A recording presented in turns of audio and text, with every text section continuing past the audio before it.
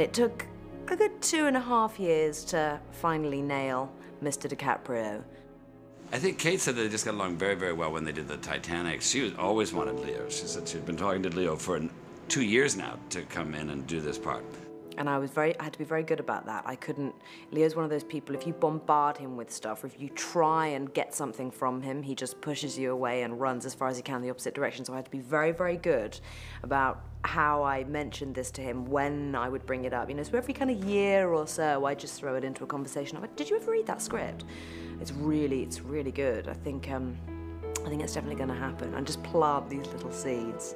She sort of called me up and said, look, I want you to take a look at this script again. I think it's ready. My husband, Sam Mendes, is directing it. I think that for Leo, it's the opportunity to work with a director like Sam in the service of material like this. The dynamic between April and Frank's character was so, so powerful and so realistic, and I, it felt like, it really felt like you were a, a fly on the wall listening to an intimate relationship disintegrate. You don't hate me or anything?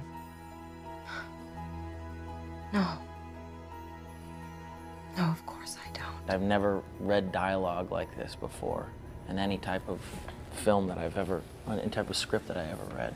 He's just a, you know, an astonishing actor. So um, pairing the two of them together are the, the, the, the, the two of our great actors of our time within literally months of him saying yes, we were making the movie because he had this, Leo had this window of time. Because you know, when Leo decided he wanted to do it, we were 10 weeks away from shooting.